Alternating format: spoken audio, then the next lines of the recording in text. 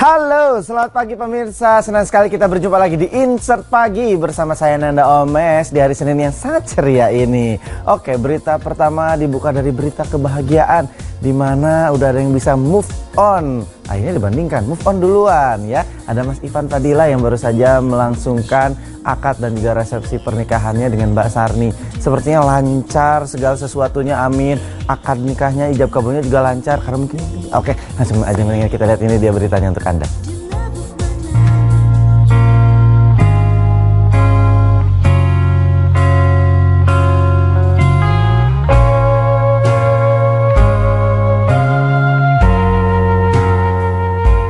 Yang ditunggu-tunggu pasangan Ivan Fadila dan Sarni akhirnya tiba juga. Pada hari Minggu 25 September kemarin, Ivan resmi melepas masa dudanya dengan mempersunting Sarni di sebuah masjid kawasan Sentul Bogor, Jawa Barat. Sebagai tanda cinta, Ivan memberikan mahar berupa emas 25 gram. Suasana haru dan tangis kebahagiaan sempat menghiasi pernikahan Ivan dan Sarni usai ayah dua anak itu mengucap ijab kabul di depan penghulu, keluarga serta tamu undangan lainnya. Bahkan Ivan tak kuasa membendung air matanya ketika memeluk kedua putranya Feral dan Atala buah pernikahannya dengan Vena Melinda. Ivan tampak begitu gagah dengan baju pengantin berwarna putih dengan dalaman berwarna biru. Begitu juga Sarni yang tampak begitu anggun dengan gaun berwarna biru senada. Maka seperti inilah suasana pernikahan Ivan dan Sarni yang berlangsung kemarin.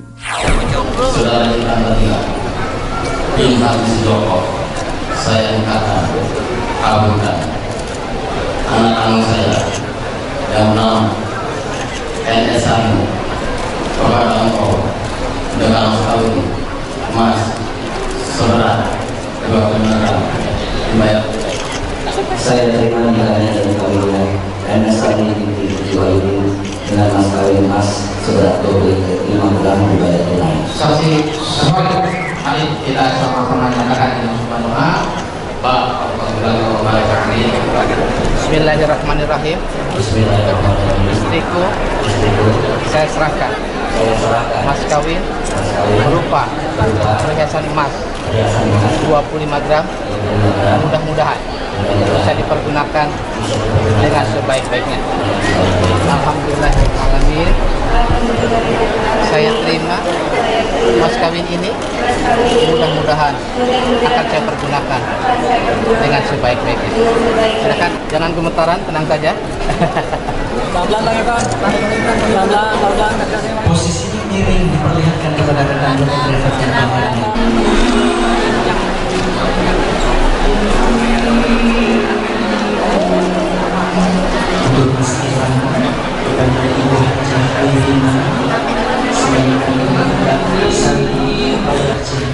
semoga ayah dan menjadi rumah tangga yang sakinah mawaddah warahmah.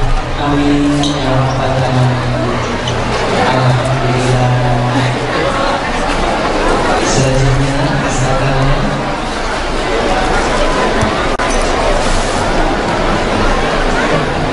Mendampingi ayah dan bunda berfoto bersama.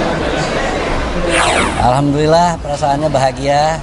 Ternyata dari lembaran hidup ini bisa ditutup dengan eh, kebahagiaan, kenyamanan. Mudah-mudahan bisa sampai akhir hayat nanti. Eh, Alhamdulillah yang eh, akad nikah kali ini benar-benar lega, lapang dan tidak ada sedikit pun apa namanya ya eh, grogi atau nervous karena memang selama ini kita menjalankan hubungan kita itu seperti apa adanya aja gitu jadi nggak mungkin nggak dibuat-buat harus begini harus begitu. Ya udah jalan aja gitu loh. Jadi sepertinya tidak ada beban gitu loh saat ini. Mas kawin kebetulan tanggal 25 ini akad nikahnya dilakukan jadi kebetulan kita buat ngikutin angka eh, pernikahan 25 gram juga.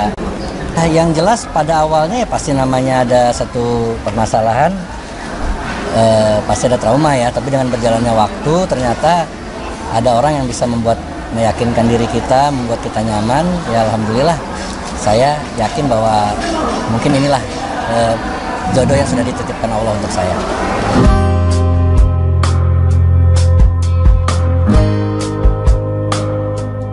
Biasanya para pasangan pengantin baru akan melakukan bulan madu. Namun lain halnya dengan Ivan dan Sarni. Ivan mengaku bila ia terpaksa harus menunda honeymoonnya mengingat kesibukan keduanya dalam urusan pekerjaan. Namun rencananya, ia akan berbulan madu dengan menjalankan ibadah umroh dan memboyong serta kedua putranya. Bulan madu. Bulan madu eh, karena kesibukan masing-masing besok pun kita sudah ada agenda. Jadi mungkin sementara waktu ditunda. Tapi nanti kalau ada rezeki insya Allah pengennya ajak anak-anak umroh malahan. Meski di pernikahannya kali ini usia Ivan sudah tidak muda lagi, namun ia mengaku ingin kembali memiliki momongan. Sudah memiliki dua anak laki-laki buah pernikahannya dengan Vena Melinda, rupanya kali ini Ivan mengaku sangat mendambakan untuk memiliki anak perempuan dengan istri tercintanya. Nah, insya Allah kalau Allah eh, menitipkan, oh nggak nggak tahu itu tergantung dari Allah aja. Ya insya Allah apa pun yang diberikan eh, itu jadi berkah. Tapi kalau bisa perempuan insya Allah eh, karena belum punya ya saya tidak punya target uh, ingin memiliki berapa anak. Sedikasinya aja dan sesehat ya ya siap-siap aja sih kalau emang papa diberikan momongan lagi kita punya adik baru ya seneng lah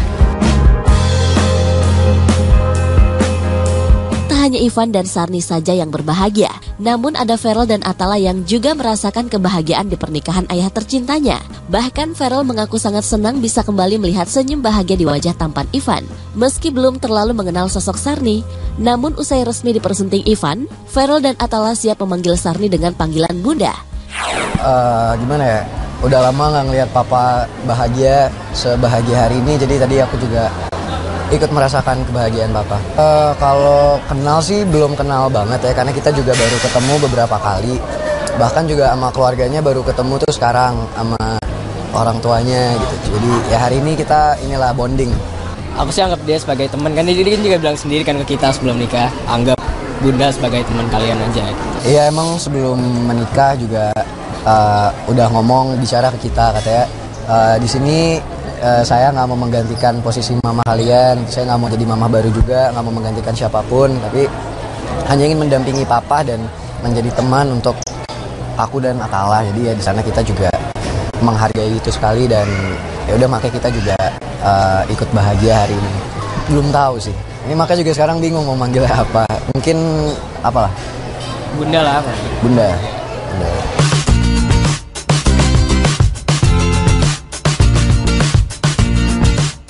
Di balik kebahagiaan yang dirasakan Ivan dan Sarni, serta ratusan tamu undangan yang ikut merasakan kegembiraan, namun tak terlihat sosok mantan istri Ivan, Vena Melinda, Ivan mengaku sudah mengundang, namun wanita kelahiran Surabaya itu berhalangan hadir lantaran ada pekerjaan yang tak bisa ditinggalkan. Diundang, diundang kebetulan malah undangan eh, anak-anak yang yang bawa yang menyampaikan juga sudah sampai di uh, diundang. Mungkin saya nggak tahu sih. Kurang tahu, mungkin Atala yang tahu. Uh, dia lagi ke dapil. Mana sih? Saya tahu ya acara. Semalam baru ketemu. ya enggak, ini baru pagi ini. Oh, pagi ini. Ya dia nyampein juga. Ya. Uh, buat papa, semoga dari sekarang dan seterusnya papa bisa bahagia, ada yang mendampingi papa, yang menyayangi papa dan Papa bisa terus bersama Bunda Sarni sampai maut yang memisahkan. Amin. Um, saya ikut bahagia ya buat Mas Ivan dan Mbak Sarmi ya.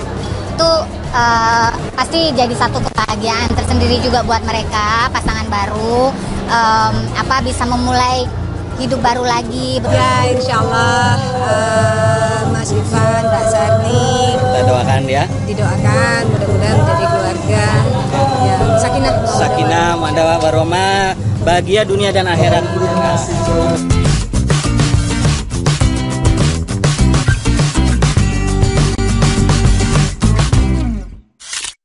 Kita juga mengucapkan selamat untuk Mas Ivan dan juga Mbak Sarni. Betul sekali tadi rona kebahagiaan pastinya ya. Walaupun ada haru mungkin haru bahagia tapi memang uh, harus kita ini hebat sekali anak-anaknya Mas Ivan ini ya.